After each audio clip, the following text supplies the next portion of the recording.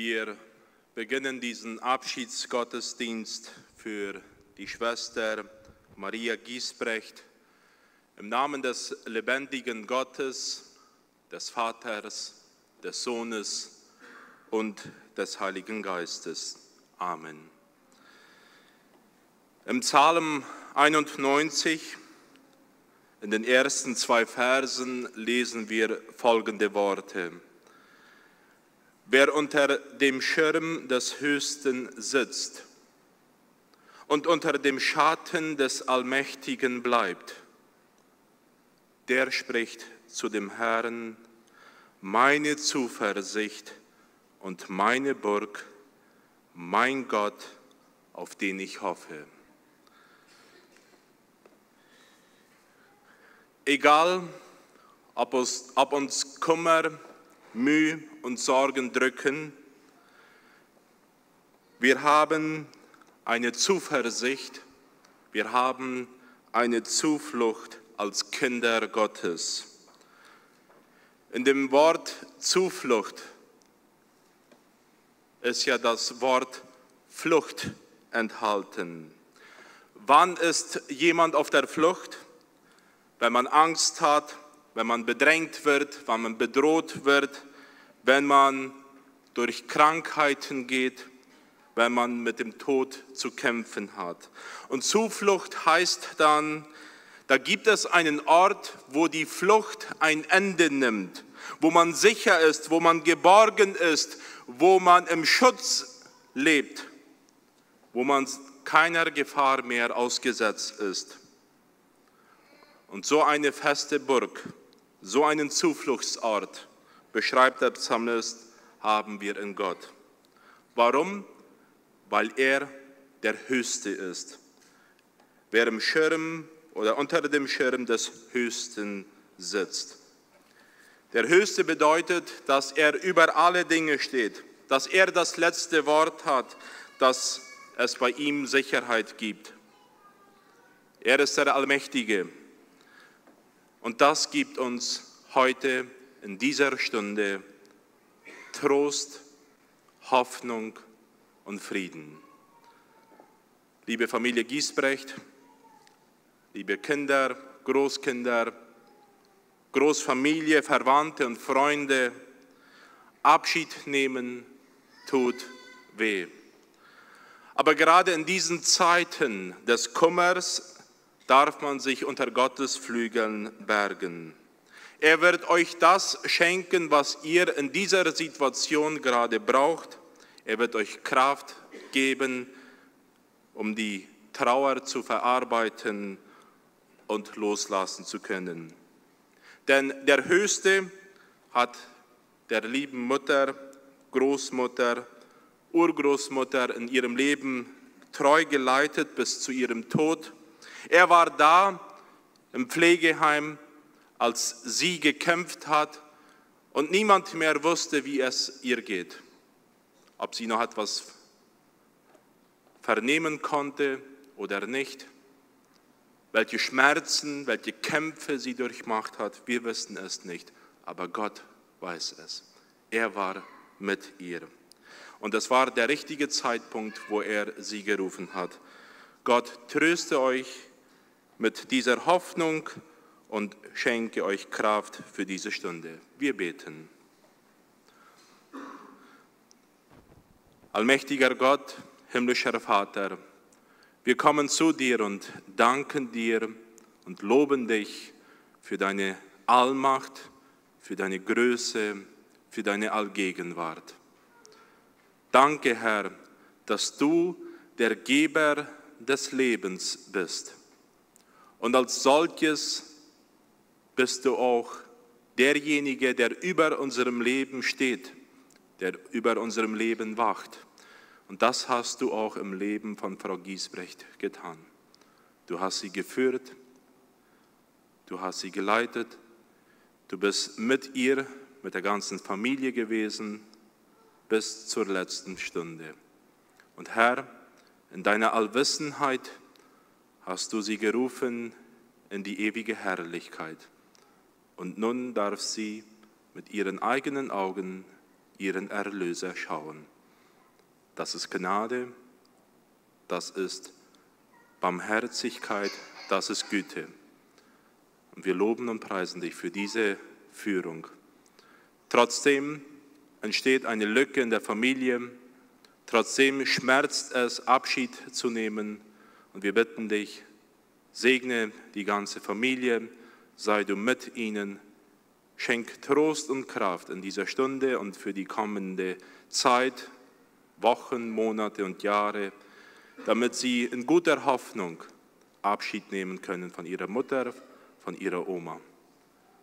Herr, lass doch, dass dieser Abschiedsgottesdienst in guter Erinnerung für sie sein kann und dass dein Name verherrlicht werde und geehrt. Segne uns dahin in deinem Namen. Amen. Wir hören nun ein Lied. Dieses Lied nennt sich 10.000 Gründe. Und da heißt es gerade, komm und lobe den Herrn, meine Seele, sing, bete den König an, diesen König, der über unser Leben wacht. Das Lied wird von den Großkindern gesungen. Nach dem Lied wird Herr Hartmut Hiebert uns dann mit der Ansprache dienen.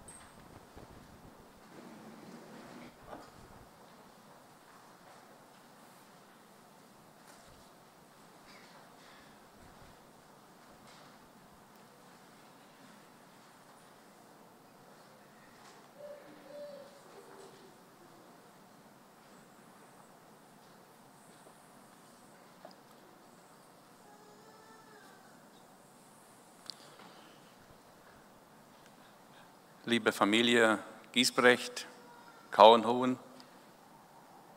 Heute ist für euch ein ganz besonderer Tag, wo ihr eure liebe Mutter, ihre liebe Oma, die liebe Tante verabschieden wollt für die restliche Zeit dieses Lebens. Und ich musste unwillkürlich an ein Lied denken, das etwa folgend heißt, wenn der Herr die Seine nach Hause bringt, da wird sein Thron von Freude und Dank umringt.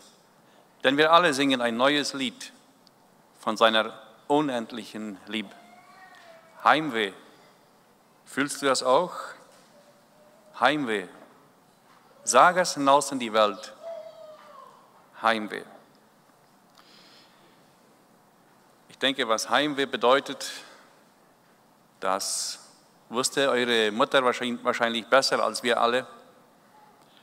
Besonders in den letzten Jahren, nachdem euer Vater von hier geschieden ist, da hat sie oftmals diese Heimweh ergriffen und ganz besonders auch in der letzten Zeit, wo es gesundheitlich und mit ihren Kräften immer weniger wurde, Heimweh. Nicht irgendwelche Heimweh, nicht Heimweh zurück in die Vergangenheit, sondern nach vorne, in die ewige Herrlichkeit, da, wo ihr Vater, wo ihr Mann schon längere Zeit zurück einkehren durfte. Und ihr als Familie habt heute diese Feier mit den Worten umschrieben, Dankbarkeit. Und im Psalm 107 heißt es, Danket dem Herrn, denn er ist freundlich und seine Güte wäret ewiglich. So sollen sagen, die erlöst sind durch den Herrn, die er aus der Not befreit oder erlöst hat, die er aus den Ländern, aus allen Ländern zusammengebracht hat. Danke dem Herrn.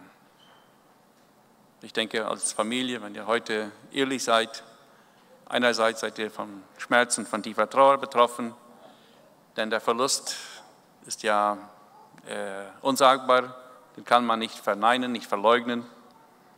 Aber andererseits diese Dankbarkeit, sie gehabt zu haben und für eine lange Zeit, wie wir in der Einleitung gehört haben, Psalm 90, da sagt Mose, unser Leben werdet 70 und wenn es hochkommt, sind es 80 Jahre. Der Herr hat eure Mutter noch mehr geschenkt und sie so lange in eurer Mitte zu haben, das war ein Vorrecht. Und äh, besonders auch, wenn wir auf ihr Leben zurückschauen, ich denke, heute können wir einfach von ganzem Herzen Gott danken für ihre Tapferkeit, für ihren Mut, die er an den Tag gelegt hat, schon von jung auf, äh, besonders auch in der Zeit, wo sie, als sie geheiratet haben und dann bald auch in den Predigtdienst gerufen wurden, wo der Vater oft unterwegs war und oftmals auch gemein, gemeinsam Predigtdienst, Seelsorgedienst, Besuchsdienst. Und äh, ich habe euren Vater und eure Mutter so in Erinnerung, dass sie den Dienst sehr ernst nahmen und dass sie diesen Dienst immer von ganzem Herzen für den Herrn taten, nicht den Menschen zu gefallen, sondern dem Herrn.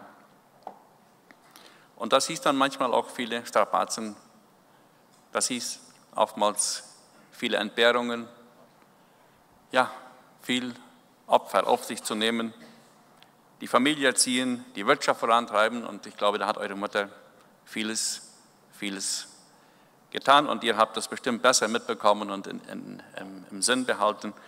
Und äh, heute können wir nicht anders als einfach Gott dafür zu danken. Aber nicht nur für ihre Tapferkeit, nicht nur für ihre Kampfbereitschaft, sondern auch ganz besonders für das positive Beispiel für ihren Glauben, äh, den sie euch und uns vorgelebt hat. Denn sie war eine, eine Kämpferin, aber andererseits auch eine, eine äh, fürsorgliche, eine liebende Mutter, die immer um das Wohl der Familie bekümmert war und die ihre Familie sehr liebte. Einerlei, wer das war, wer zur Familie gehörte, der der wurde geliebt. Sie war eine liebende Mutter für euch und eine liebende Oma. Und Welch ein Segen, wenn man das von Herzen sagen kann. Da möchte ich einen Vers lesen aus Offenbarung Kapitel 14, Vers 13. Da heißt es, selig sind die Toten, die in dem Herrn sterben, von nun an, ja, spricht der Geist, sie sollen ruhen, ruhen von ihrer Mühsal, denn ihre Werke folgen ihnen nach. Selig sind die Toten. Wer von uns möchte nicht selig sterben? Ich denke alle. Wir würden alle einstimmig Ja sagen. Ich möchte selig sterben. Aber der Text sagt, dass ein seliges Sterben ist nicht etwas, was wir hervorbringen, nicht etwas, das man sich nur wünschen kann, sondern selig sind die Toten, die in dem Herrn sterben von nun an. Selig, ein seliges Sterben hat eine Voraussetzung und das heißt, auch im Leben selig zu leben. Das heißt, auch im Leben mit dem Herrn zu leben. Schon bei Lebzeiten sein Leben Jesus übergeben, das Leben ihm weihen, mit ihm leben, für ihn leben und jeden Tag des Lebens, jeden Tag, den der Herr uns schenkt, bewusst in seiner Gegenwart, in seiner Nachfolge zu leben. Selig sind die Toten. Nicht diejenigen, die sich, ein, die, die sich wünschen, selig zu sterben, sondern die eine Entscheidung, eine klare Entscheidung für Jesus treffen. Und das hat eure Mutter getan. Nicht, weil sie die Frau eines Predigers war oder eines Ältesten, nicht, weil sie so gut erzogen war oder weil sie es so gut meinte, sondern weil der Herr ihr gnädig war und sie dieses Gnadenangebot in Jesus angenommen hat, konnte sie auch, nur deshalb konnte sie auch selig sterben. Und dieser Text sagt es sehr deutlich, unmissverständlich. Ja, spricht der Geist. Der Geist bezeugt und besiegelt dieses Wort und sagt, ja, sie sollen ruhen von ihrer Mühsal. Und wie schön zu wissen, der Geist Gottes bestätigt dieses und sagt, wir dürfen ruhen von unserer Mühsal, von all unserer Arbeit, von all unseren Sorgen, von all unseren Anstrengungen. Und ich denke, eure Mutter hat auch oft viele Anstrengungen gemacht. Ihr ganzes Leben war geprägt von Kampf, von, von, äh, von Arbeit und von viel Mühe.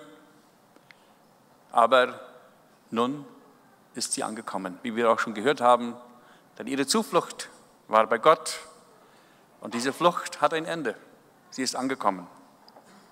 Und sie darf nun ruhen von all ihrer Mühsal, von allen Kämpfen und in der Gegenwart Jesu ruhen und sich freuen und ihm danken für alle Ewigkeit.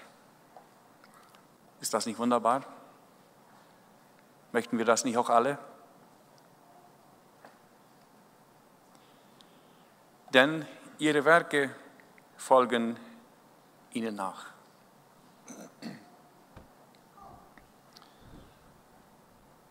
Jesus sagt, dass alle Werke, die wir in seinem Namen getan haben, die wir aus Liebe getan haben, die wir getan haben, indem der Geist Gottes uns angetrieben hat, die wir nicht aus uns selbst hervorgebracht haben, sondern von dem Heiligen Geist und von der Liebe Jesu angetrieben, diese Werke werden belohnt werden in der Ewigkeit.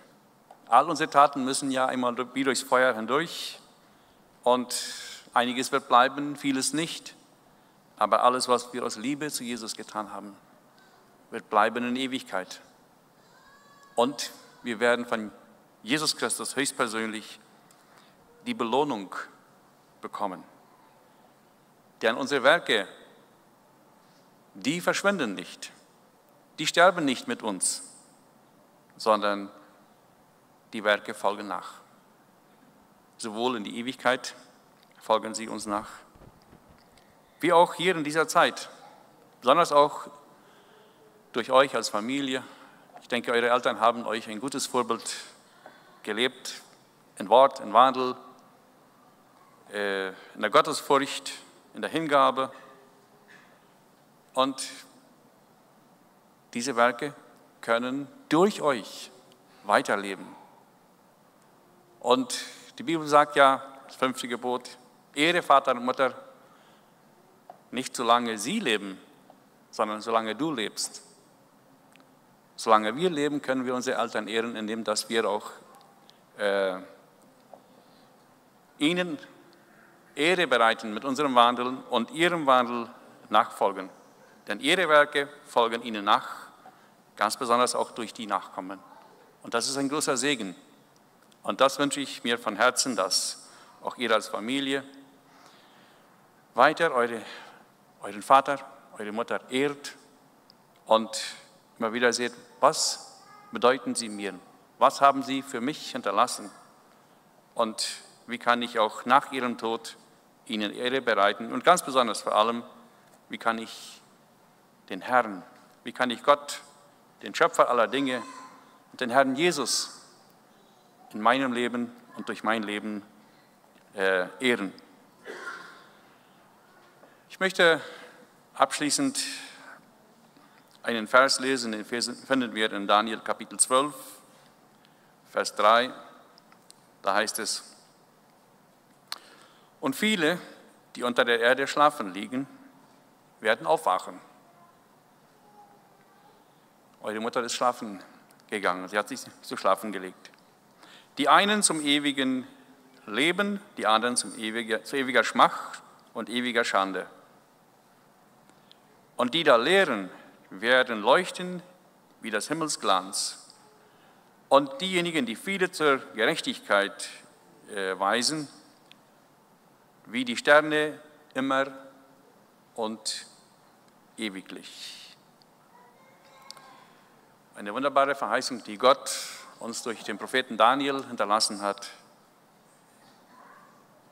Wir müssen uns alle schlafen legen. Es ist den Menschen gesetzt, einmal zu sterben, danach das Gericht. Aber selig sind diejenigen, die in dem Herrn sterben. Und diejenigen, die andere, die selber zur Gerechtigkeit äh, zurechtgewiesen wurden und auch andere zur Gerechtigkeit weisen, die andere auf Jesus hinweisen, die werden glänzen wie das Himmelsglanz. Und die werden glänzen wie die Sterne immer und ewiglich. Wir wollen gemeinsam beten. Vater im Himmel, wir sagen dir Dank für deine Gegenwart in diesem Raum.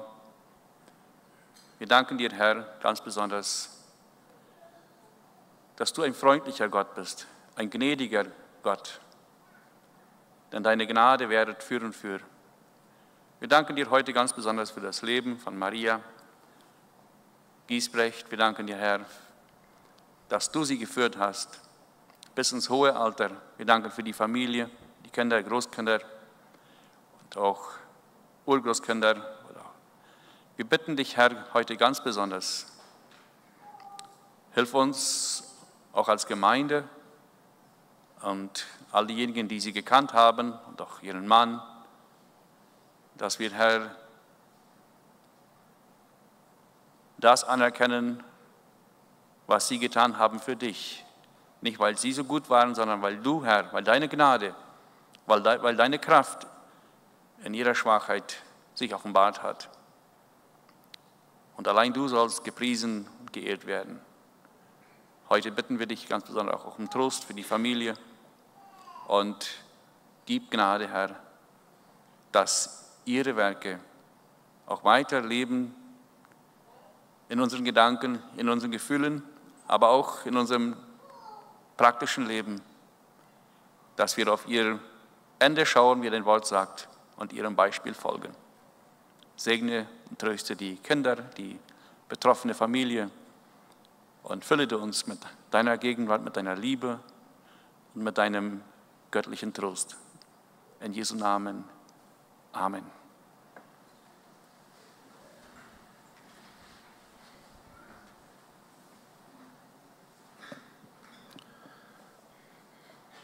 Wir haben unter anderem in der Predigt gehört, dass die Glaubensschwester sich nahe an Gott gehalten hat.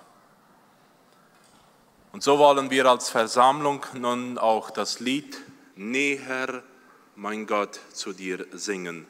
Wir finden das Lied unter der Nummer 432. Egal was in unserem Leben passiert, es soll unsere Losung sein, näher, mein Gott, zu dir. 432. Danach werden uns die Urgroßkinder das Lied Gott ist die Liebe singen.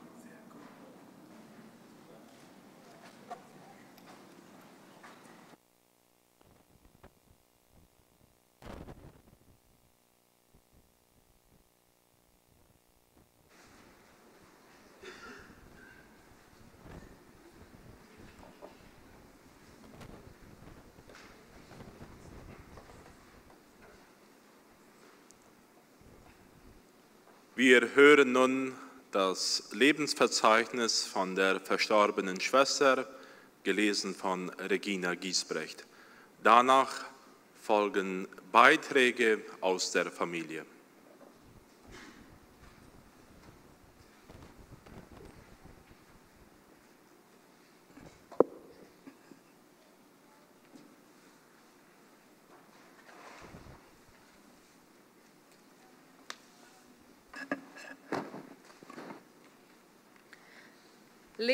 Lebensverzeichnis von Maria Giesbrecht, geborene Kauenhoven.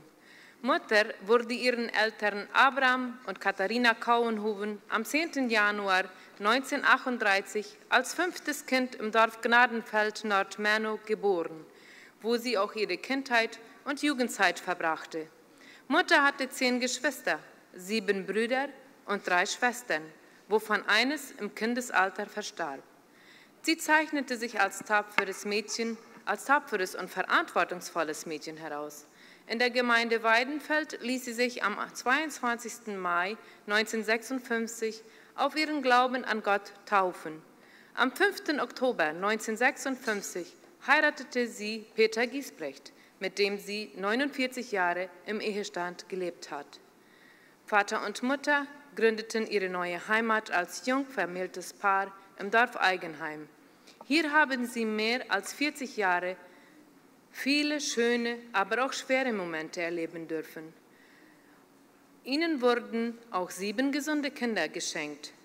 Den Dienst in der Gemeinde, zuerst als Diakone, dann als Prediger und 21 Jahre als Gemeindeleiter-Ehepaar, haben sie mit großer Hingabe und Liebe getan für, für, und der für viele ein großer Segen war.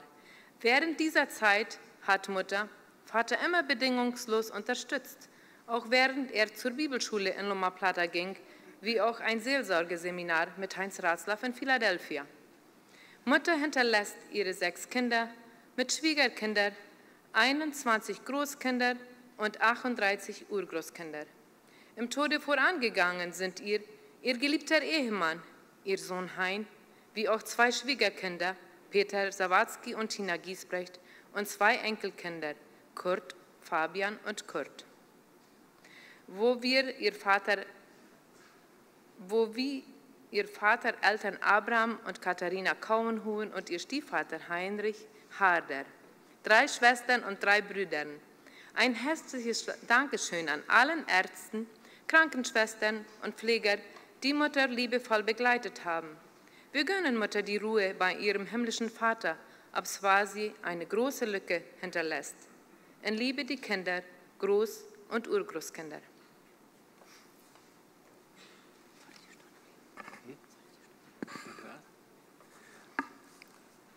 Zu den Beiträgen, die direkt aus der Familie eingesandt wurden.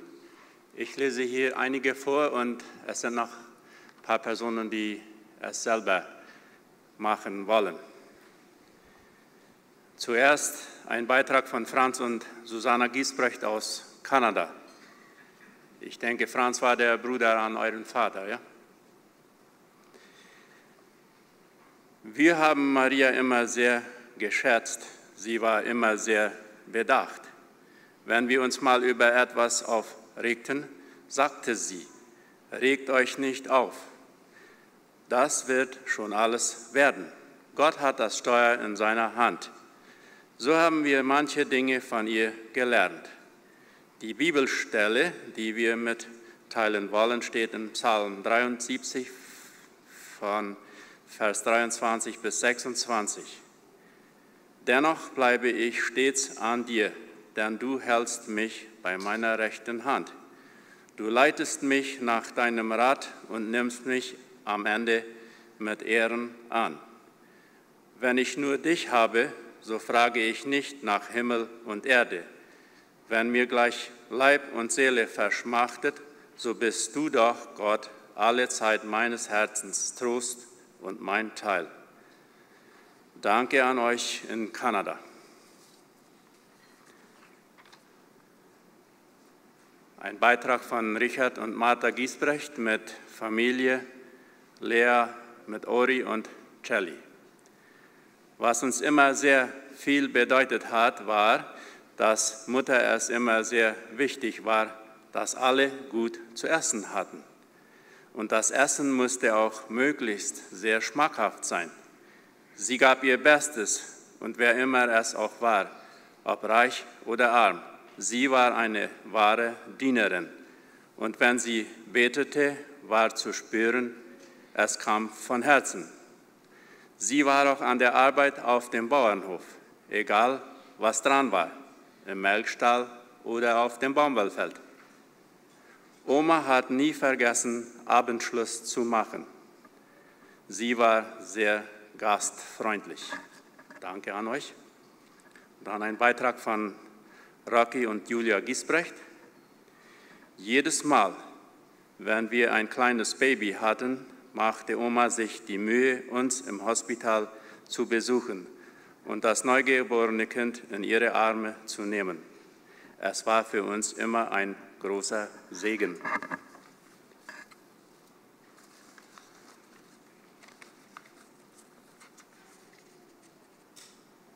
Dann ein Beitrag von Nathalie und Brandon, Maggie und Sebastian. Christian und Juliane. Sie sind die Familie von Willi und Regina Giesbrecht. Liebe Oma, nun bist du von uns gegangen. Du warst schon zu unserer Kindheit immer für uns da. Du warst immer so arbeitsam, doch Zeit für uns Kinder hattest du. Schon in Eigenheim kamen wir gerne zu Oma und Opa und wir hat, haben vieles gemeinsam erlebt, wie zum Beispiel im Choral auf dem Borgi gespielt, im Wassertrog gebadet, am Abend auf dem Gras gelegen und die Sterne gezählt, uns von der Schrägung gerollt, Volleyball gespielt. Es waren so schöne Zeiten. Was uns besonders Spaß gemacht hat, ist, dass wir immer in deine Kammer gehen dürften, Süßigkeiten holen und deine selbstgemachte Erdnussbutter zu essen war ein Highlight. Auch hier in Loma Plata dürften wir La Copa, Saft, Terere, gut süß, trinken. Wenn wir zum Terere kamen, musstest du immer erst was zum Essen holen. Es war deine Art, uns Fürsorge und Liebe zu zeigen. Und jetzt sind es Erinnerungen, die für immer bleiben. Du musstest auch durch Tiefen, durch Krankheit und vieles mehr in deinem Leben gehen und trotzdem hast du immer wieder aufs Neue deinen Lebensmut und die Beständigkeit im Gebet gezeigt. Es ist bewundernswert, wie stark du immer gewesen bist. Du bist uns ein großes Vorbild gewesen. Du hast uns gezeigt, dass man bis zum Ende stark sein kann. Danke, liebe Oma, für so schöne Erlebnisse und für deine Gebete, die für einen jeden Einzelnen gesprochen hast. Nun gönnen wir dir vom Herzen die Ruhe beim Herrn. Dankeschön an euch.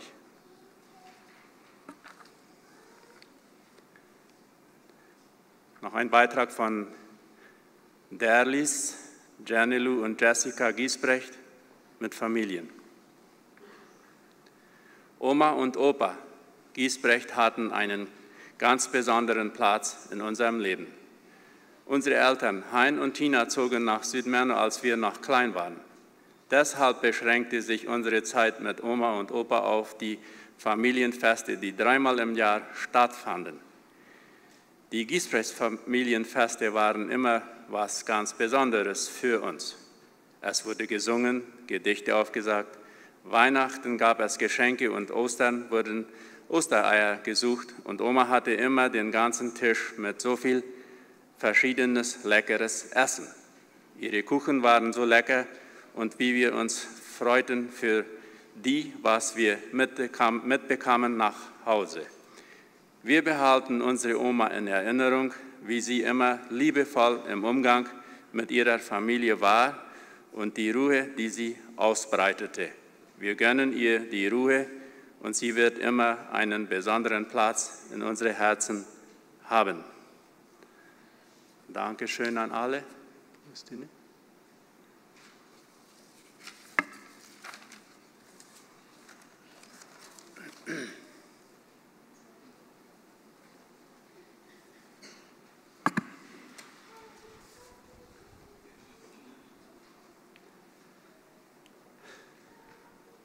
Liebe Mutter, du warst und bleibst die allerliebste und beste Mutter der Welt. Du hast mich in schwierigen Zeiten geboren, für mich dein Bestes gegeben, mich mit viel Liebe und Fürsorge begleitet dein Leben lang. Wie oft hast du für mich gebetet? Du warst immer mich Du warst immer für mich da in guten und in schlechten Tagen.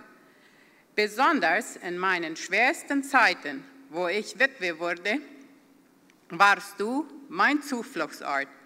Deine Blicke haben mich sichtlich mit viel Mitgefühl angeschaut. Wenn wir uns dann abends hingesetzt und erzählt haben über unsere Situation, hast du mit viel Verständnis zugehorcht weil du dieselbe Erfahrung auch schon gemacht hattest. Immer wieder kam dann dieser mütterliche Trost. Es wird nicht so schwer bleiben, es wird noch leichter werden. Der liebe Gott hält alles in seiner Hand. Und wie recht hattest du? Den Segen, den du uns als Familie hinterlässt, ist einfach das allergrößte Geschenk. Danke, liebe Mutter, wir werden diesen Segen in Anspruch nehmen. Deine Siegeskrone, die wird sehr glänzen. Die gönne ich dir von ganzem Herzen. Deine Tochter Leni.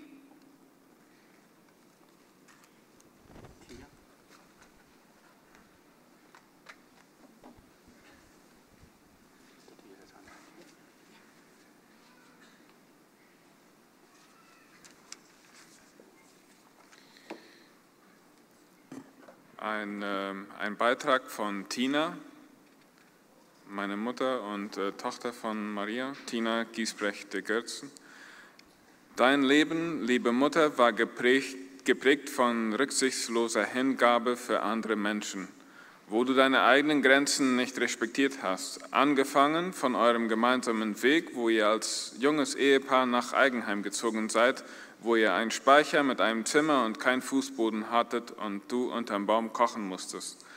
Ein starker Kämpfer im wirtschaftlichen wie auch im geistlichen Leben.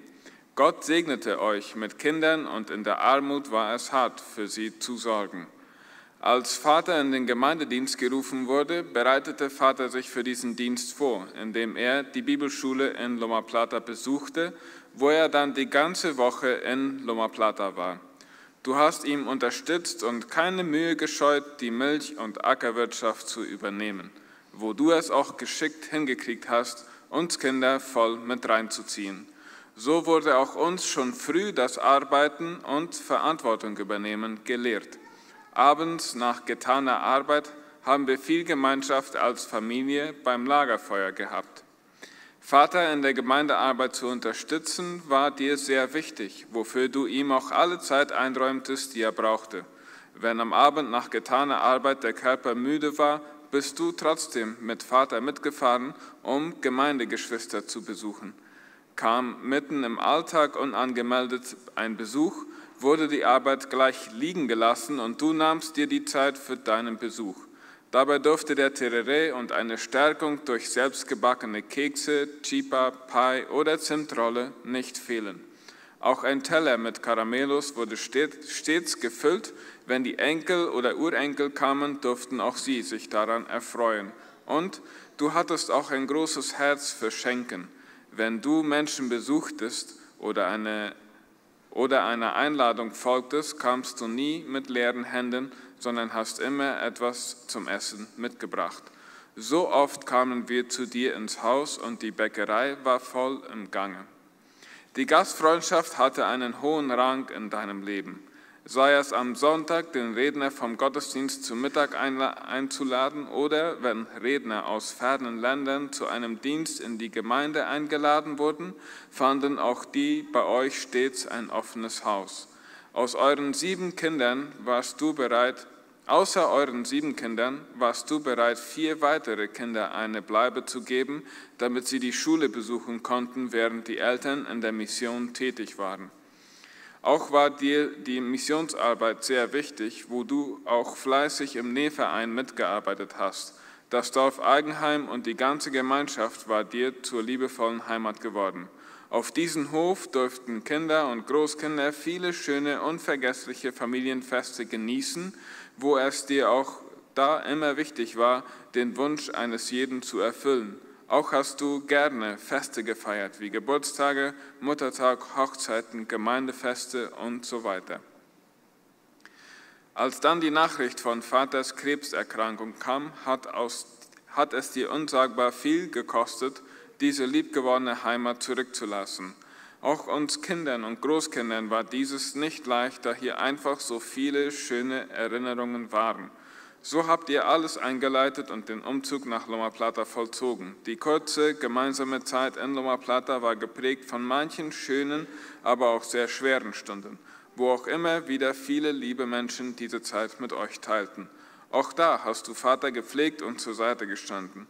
Nach Vaters Tod fing ein neuer Abschnitt an, den du auch ohne Klagen mit Gottes Hilfe gemeistert hast. Auch, du, auch da hast du sehr schwere Zeiten durchkämpfen müssen, unter anderem den Tod eines eigenen Sohnes und zwei Schwiegerkinder und ein Großkind. Doch beklagt hast du dich nie. Du durftest auch über Du durftest aber auch viele schöne Zeiten erleben, darunter auch der Besuch deiner Kinder und Geschwister in Kanada. In Noma Plata hast du dir auch wieder einen Nähverein gesucht, wo du mit viel Interesse mitgearbeitet hast. Viele Jahre hast du dein Haus für die Bibelstunde geöffnet. Auch fandst du einen Platz beim Missionsladen, wo du tapfer mit der Nähmaschine Wäsche zurechtgenäht hast. Durch deine Offenheit und Gastfreundschaft hast du auch viele Freunde gewonnen, die immer gern zu dir kamen, bis an einem Gegenabend ein Gehirnschlag dein Leben auf den Kopf stellte. Du warst wieder tapfer und hattest den Teller mit Keksen und Chipas bereit für den Tereré nach der Bibelstunde. Auch auf den Tisch lagen Pfefferschoten und Sauerrampferknospen, viele Backbleche mit Kekse, alles Arbeiten von dem Tag, wo du dann so oft bis späten Abend gearbeitet hast, wenn der Tag nicht lang genug war.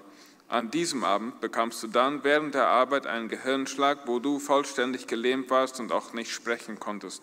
Nach zweiwöchigem Aufenthalt im Krankenhaus kamst du zu uns, wo, die, wo du sechs Wochen mit viel Liebe und Hingabe und der medizinischen Betreuung von Greta Harder gepflegt wurdest. Viele Besuche und besondere Unterstützung seitens deiner Kinder, Großkinder und Freunde gelang es dir, wieder neuen Mut zu fassen, um weiterzukämpfen. Da ich auf Arbeit war, kam Tina Fröse jeden Vormittag bei uns ins Haus und hat dir mit viel Liebe gepflegt, wo sie dein Herz erobert hat und dich bis zum Tod begleitet hat. Nach sechs Wochen Aufenthalt bei uns kamst du wieder mit Haushaltshilfe zurück in dein Haus. An manchen Morgen habe ich vor der Arbeit bei dir reingeschaut, um zu sehen, ob du okay warst. Dabei hörte ich mehrere Male ein leises Sprechen und als ich näher zum Fenster kam, hörte ich, wie du für deine ganze Familie, Kinder, Großkinder und Urgroßkinder gebetet hast.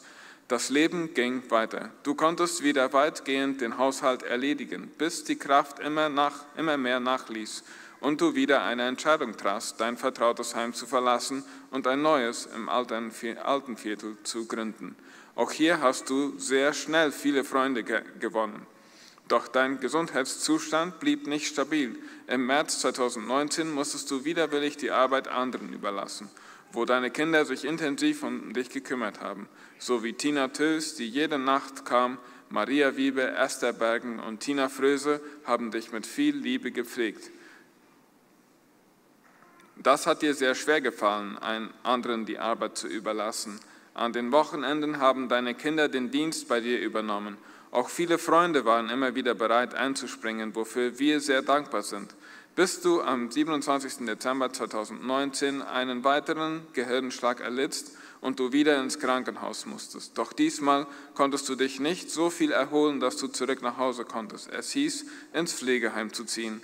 Dazu ein Ja zu finden war dir sehr schwer, aber mit Gottes Hilfe und weiterer Begleitung von den dir vertrauten Personen schafftest du auch das. Und du hast auch da viele Pfleger und Krankenschwestern ins Herz geschlossen. Gleich darauf kam die Zeit, wo der Coronavirus ausbrach und es wieder Veränderungen mit sich brachte, sodass auch kaum Besuche erlaubt waren.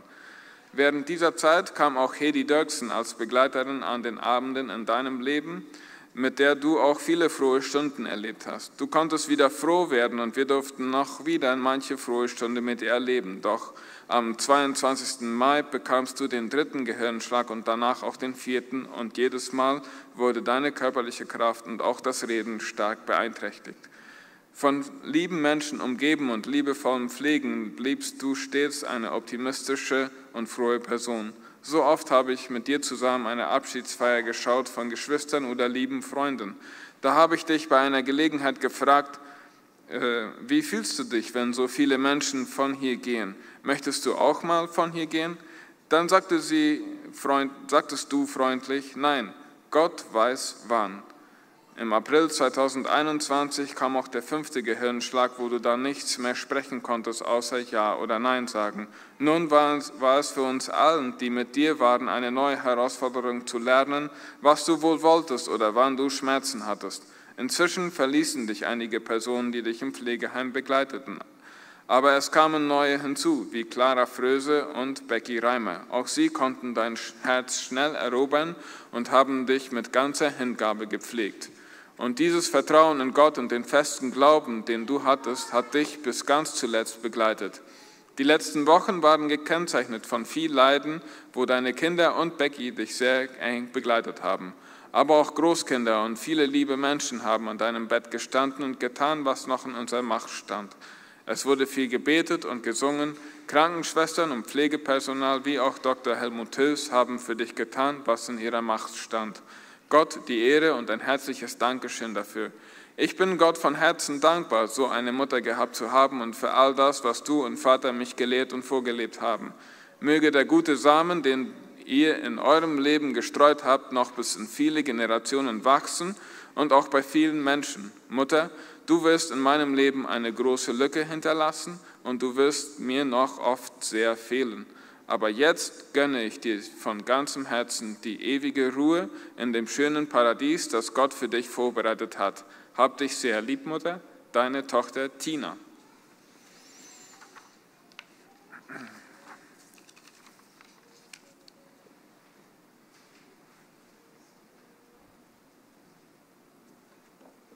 Eines, das ich uns, eines, das Mutter uns unter anderem erzählt hat, möchte ich gern mit euch teilen.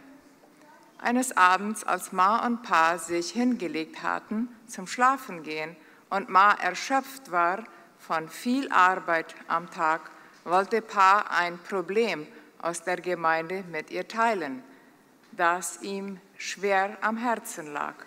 Wobei Ma sonst immer alles mit Pa teilte, sagte sie diesmal ganz erschöpft, sei Jesum dort. Und da steht eine tiefe Wahrheit drin. Das hat mich in meinem Leben geprägt und bis jetzt durchgetragen und immer viel Kraft geschenkt. Besonders die letzten drei Jahre, wo Ma viel gesundheitliche Probleme hatte und ich oft schwere Auseinandersetzungen hatte, weil ich für Mutter kämpfte. Ich will hiermit bezeugen, dass ich es sehr oft erlebt habe, wenn ich am Ende meiner Kräfte war und Gott sagte, ich kann nicht mehr. Jetzt vertraue ich auf deine Kraft.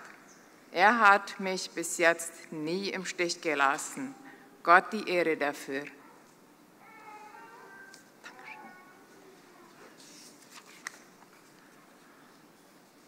Ein äh, Beitrag von meiner Schwester Tanja. Ich werde meine Oma immer als eine sehr liebevolle und positive Frau in Erinnerung behalten, die sich Zeit nahm, um mit mir Terere zu trinken und zu erzählen, was sie ganz besonders gern machte, aber leider in letzter Zeit nicht mehr konnte. Trotzdem habe ich auch da immer wieder sehr schöne Momente mit ihr erleben können, wo sie mich mit viel Liebe anschaute und ich wusste, dass sie dass sie mich noch wahrnimmt. Auch meine Kinder haben ihre Uroma noch viel besuchen können, wo sie immer Karamellos oder etwas anderes Süßes bekamen, genau wie Oma es sich ganz bestimmt gewünscht hätte, denn auch sie freute sich immer, wenn sie ihre Enkelkinder verwöhnen konnte und hat sich deshalb auch immer Mühe gegeben, unser Lieblingsessen für uns vorzubereiten. Alle paar Wochen, meistens am Freitag, fuhren meine Kinder und ich nach Loma Plata und dann ging es als erstes zu Uroma ins Pflegeheim. Letzte Woche Freitag bog ich dann aber in die Straße zu meinen Eltern ab. Da fragte mein Ältester gleich, warum fahren wir denn nicht zu Uroma? So selbstverständlich war für sie schon der Besuch im Pflegeheim. Ich erklärte ihnen, dass die Uroma sehr krank wäre und wahrscheinlich bald sterben werde. Wir sprachen darüber, dass sie dann bei Jesus sein wird und nicht mehr leiden muss. Und dazu freuen wir uns, obwohl wir diese Besuche bei ihr vermissen werden, dass sie nun im Himmel ist und endlich wieder nach Herzenslust spazieren kann. Mein Bruder Georg hat geschrieben, zu Oma konnte man nicht zum Terere kommen, ohne dass sie noch Kuchen oder etwas Süßes anbot zum Essen. Sie war einfach sehr gastfreundlich und hat ihre Großkinder sehr gern. Auch fiel uns immer wieder auf, dass sie immer nachfragte und interessiert war, wie es uns ging mit dem Studium, mit der Arbeit und so weiter. Wir haben dich sehr gern gehabt, Oma. Danke für alles. Wir gönnen dir von Herzen die Ruhe. Auf Wiedersehen. Und ich möchte auch dies bestätigen, dass wir sehr schöne Zeiten erlebt haben in äh, Eigenheim. Die Familienfeste bei den Giesbrecks war wirklich immer was ganz Besonderes und gingen von früh bis spät. Und äh, auch wenn wir da mal zur Nacht blieben und äh, hat Oma immer Grütze vorbereitet und Butter geschlagen, damit wir auch frische Butter hatten zum Essen. Das waren ganz tolle Momente. Und auch als unsere Tochter Jasmin geboren wurde und wir die Diagnose bekamen, äh, dass sie Down-Syndrom hat, war auch das für sie zu sehen, dass sie damit Schwierigkeiten hatte am Anfang. Aber durch ihre Offenheit und, und ihr offenes Denken hat sie auch das äh, angenommen. Und dann sagte sie einmal zu uns, auch diese Menschen haben ihren Platz in der Welt. Und ähm, Das möchte ich auch einmal mitteilen und äh, ich bin sehr dankbar für die Stunden und die Erlebnisse, die wir von unserer Oma haben. Und unsere, Groß unsere Kinder auch ihre Uroma kennenlernen konnten. Danke.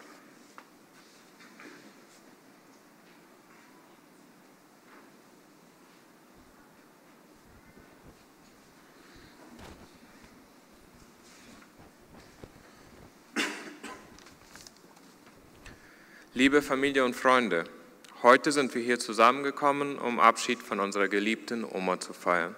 Oma war eine wunderbare Frau mit einem offenen Haus für alle. Besonders ist uns dieses während ihrer Zeit im Gemeindedienst aufgefallen, wo ständig jemand zu Besuch war oder sie und Opa andere oft hilfbedürftige Menschen besuchen fuhren. Sie hatte immer Zeit für uns und war immer bereit, uns aufzunehmen. Jede Situation wurde gefeiert und jeder wurde immer freundlich begrüßt. Es war nie zu spät, ein bisschen Theorie zu trinken und Snacks zu essen, auch nicht nach 11 Uhr abends. Als Kinder haben wir liebend gerne die Ferien bei ihr verbracht und morgens eine Tasse Milch vom Stall geholt und dann selbstgebackene Kekse und frische Milch zu Frühstück zu essen.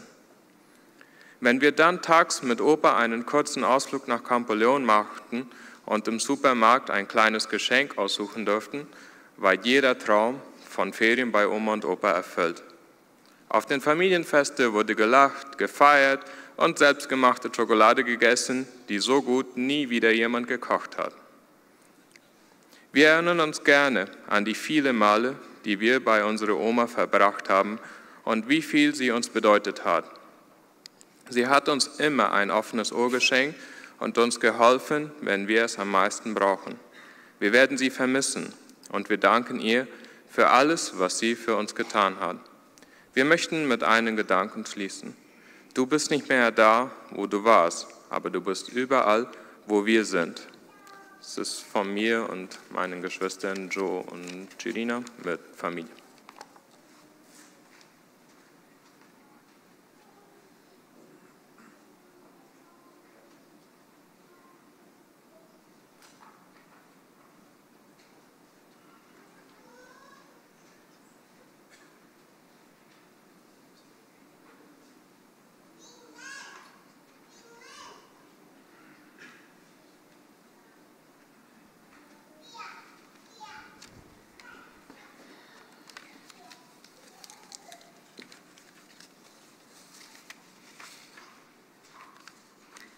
Lese einen Beitrag von der Tochter Nettie.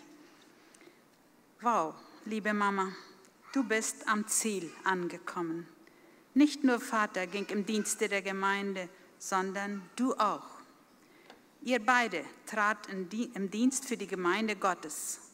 Euch beiden war es ganz bewusst, dass Jesus euch berufen hatte, ihm zu dienen. Als Vater, als Prediger gewählt wurde, entschloss ihr zusammen, dass Vater sich erst würde vorbereiten für diese große Aufgabe. Vater ging zur Bibelschule. Dieses war eine große Herausforderung für Mutter. Es bedeutete, dass sie würde alleine da sein, um uns sieben Geschwister zu erziehen, Essen geben, kleiden, zur Schule schicken und Fläschchen geben den ganzen Haushalt meistern, den Bauernhof, Wirtschaft führen, wobei Hein und Jasch ihr schon bestimmt geholfen haben, für zwei Jahre, bis Vater sein Studium abgeschlossen hatte. Das war aber nur der Anfang eurer Reise im Dienste Gottes.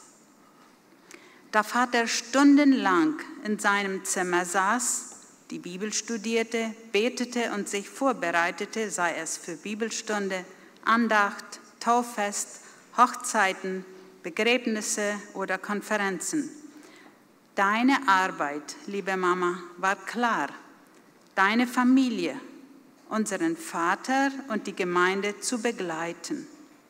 Unser Haus war ein offenes, warmes Haus. Alle waren herzlich willkommen. Mutter, du konntest es meisterhaft jedem Gast wohlfühlend zu machen mit Essen, mit einem schön vorbereiteten Schlafzimmer, wenn die Prediger, Missionare und Lehrer kamen aus verschiedenen Ländern. Der Tisch war nicht nur elegant gedeckt, sondern es war lecker und mit viel Liebe vorbereitet. Und weißt du, Mama, es sah immer so aus, als ob es dir Freude gab zu dienen. Du hast dich nie beklagt noch beschwert. Es war klar, Jesus hatte dich gewählt zum Dienen. Wir sieben Geschwister wuchsen auf mit dir zusammen. Es ging uns gut mit dir zusammen in der Küche, während du Essen vorbereitetest. Wenn es zu laut wurde, dann liefst du uns mal mit dem Löffel hinterher, aber meistens mit Humor. Es war überhaupt nicht schlimm gemeint. Auch auf dem Baumwolle- und Erdnussfeld mit dir zusammen. Da ging es mir nicht so sehr gut. Und auch dafür hattest du Verständnis. Ich durfte weiter studieren. Danke dafür, Mama und Papa. Ihr beide wusstet meine Fähigkeiten würde ich sonst wo besser brauchen können als auf dem Bauernhof. Wir durften unsere Träume verfolgen. Die Freiheit galt, gabt ihr uns. Danke dafür. Mutter, du wusstest ganz genau, was einem jeden von deinen Kindern und Großkindern ihr Lieblingsessen war. So Weihnachten war der ganze Tisch mit viel Lieblingsessen gedeckt. Dorian sagte einmal zu mir, Mama, ich bin Omas Liebling. Oma hatte die Fähigkeit, einen jeden als Liebling zu behandeln.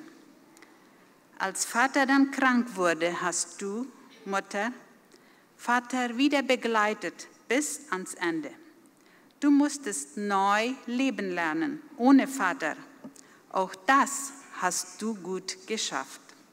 Du lerntest Autofahren und warst begeistert von allem, was das Leben dir zu bieten hatte. Du dientest weiter, besuchtest Kranke und Einsame. Auch die Indianer bekamen immer eine warme Mahlzeit und kalten Terere. Mutter, du warst meine Freundin. Du begleitetest mich mit Worten Trost und Gebeten. Deine Geduld und Liebe war grenzenlos. Du urteiltest nicht. Mama, ich vermisse dich jetzt schon. Aber du bist jetzt bei Jesus, bei Pa und Bruder Hein. Und so wie ich zu dir sagte, Mama, wir kommen hinterher. Und dann wollen du und ich im Himmel einen Spaziergang machen und alle Blumen bewundern, die es da geben wird. Du wirst für immer in meinem Herzen bleiben, Ma. Hab dich so lieb, Nati.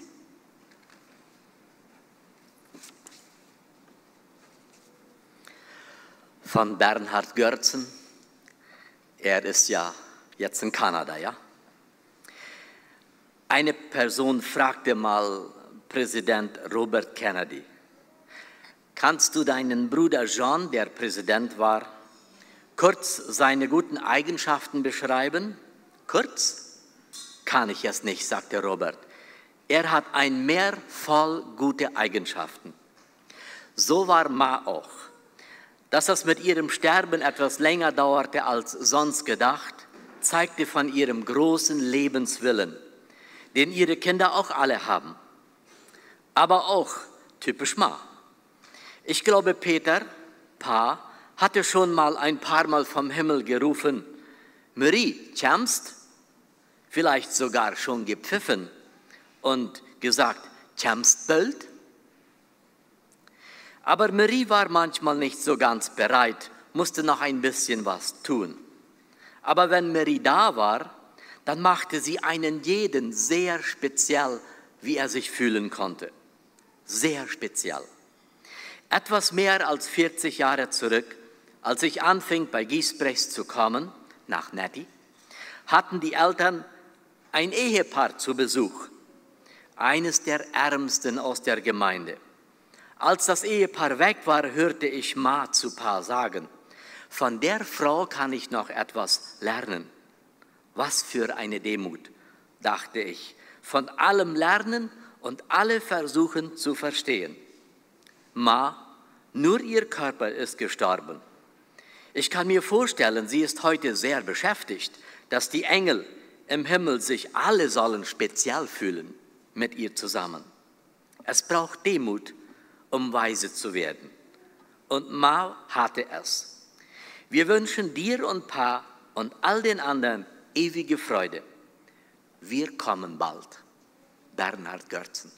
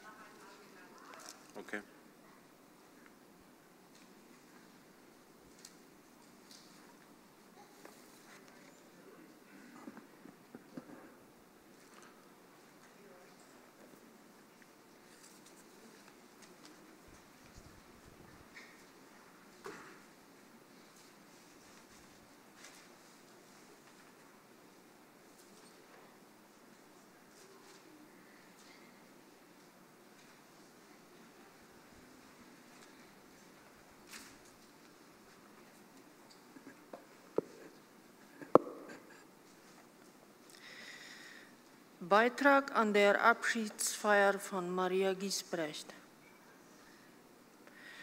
Wenn ich an Peter und Maria Giesbrechts denke, fällt mir gleich ein, wie sie mich nach unserer Hochzeitbeginn 2001 freundlich begrüßten und fragten, ob ich mich schon eingelebt hätte in der Gemeinde und so weiter.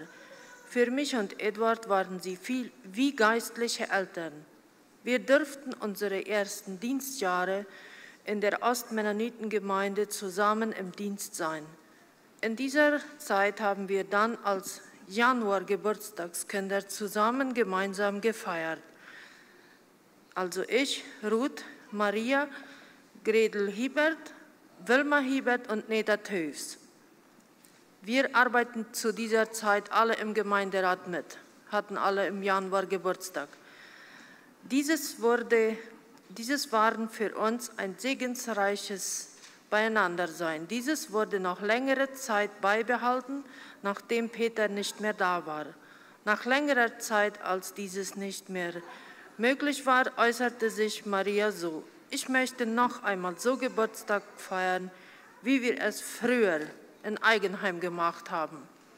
Dann haben wir gemeinsam mit ihr zusammen gefeiert. Es war immer eine schöne und gesegnete Gemeinschaft.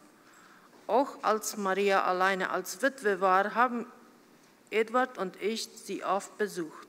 Gemeinsam Terere und immer etwas zu essen. Dieses spürte man immer, dass es von Herzen kam und zu Herzen ging. Peter pflegte oft zu sagen, Typ ete es biblisch. Unvergesslich sind die Worte von Maria, die sie beim Abschied immer wieder sagte. Ich wünsche euch viel Kraft und Freude in eurer sehr wichtigen Arbeit in der Gemeinde. Sie hat uns damit gesegnet, denn man spürte ihre tiefe Herzenseinstellung und ihr Mitgefühl. Sie war ein segensreiches Vorbild. Es lohnt sich, ihrem Vorbild nachzueifern, ihre ihren andenken.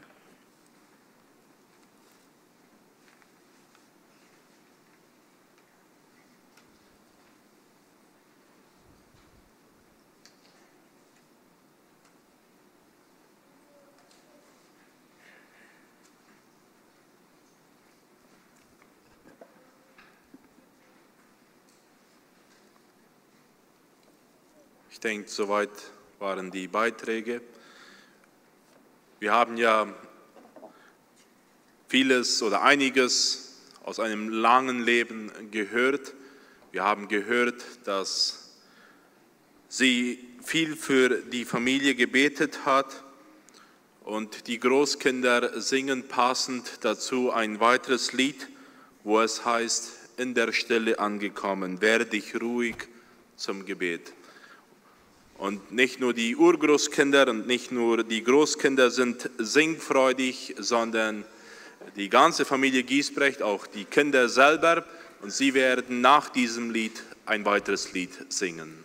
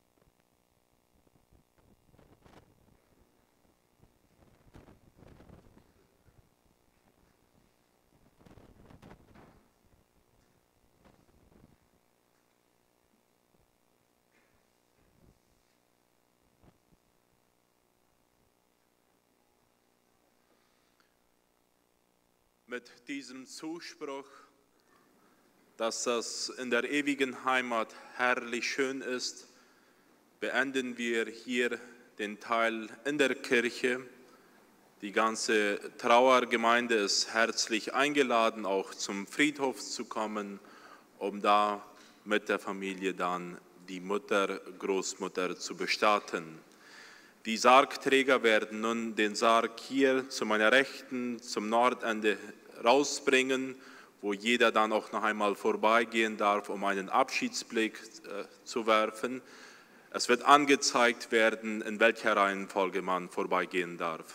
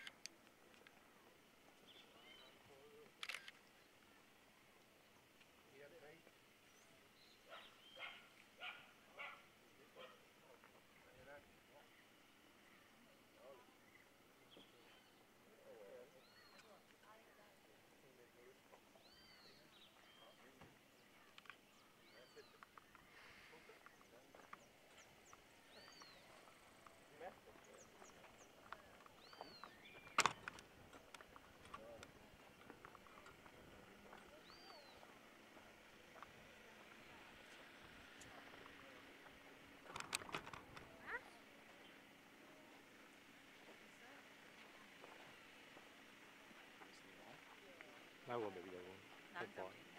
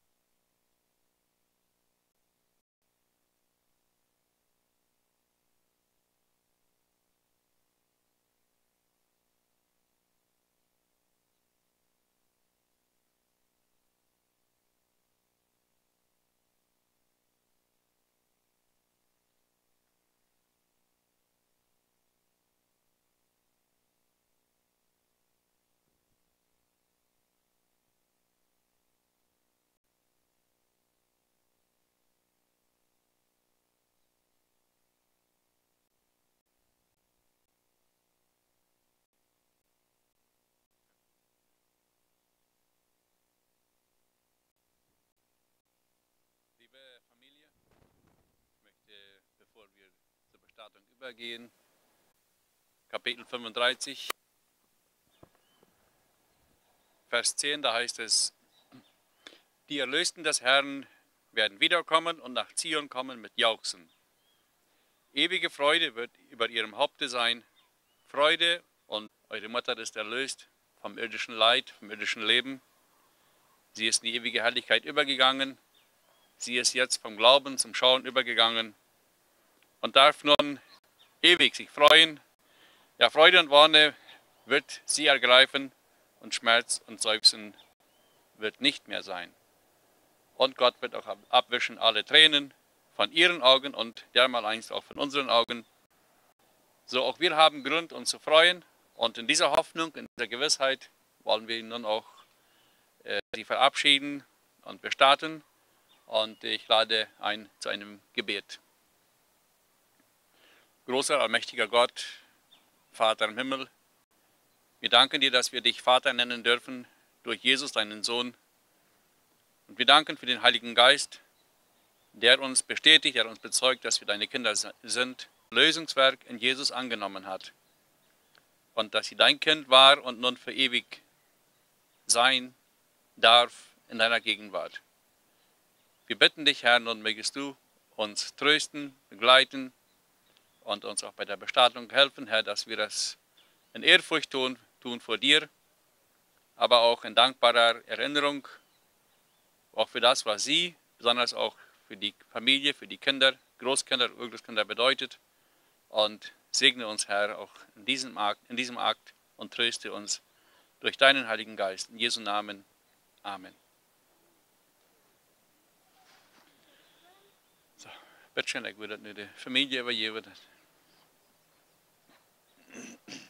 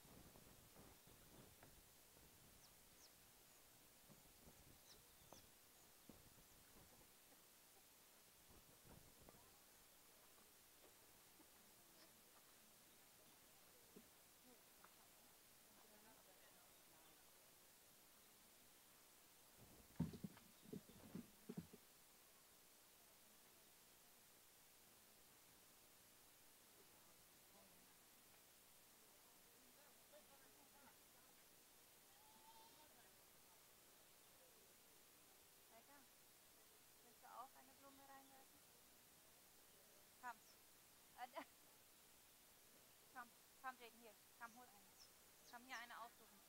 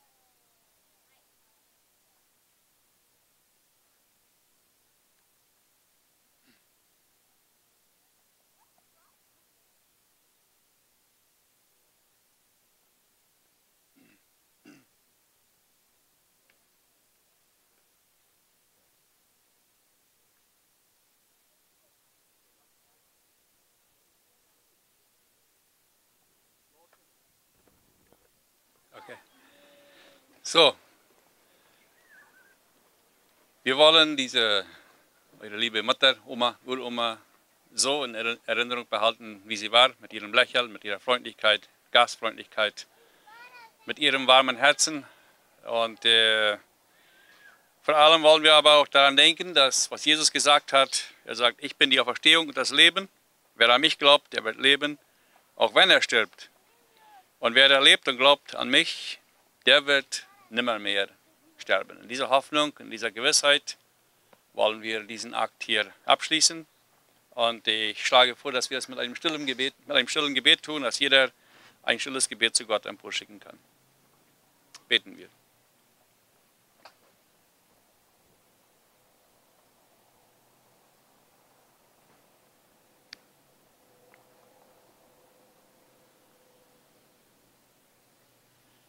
Danke, Jesus, dass du die Auferstehung bist und dass wir an dieser Hoffnung, an dieser Tatsache festhalten dürfen, in der Gewissheit, dass auch wir eines Tages auferstehen werden.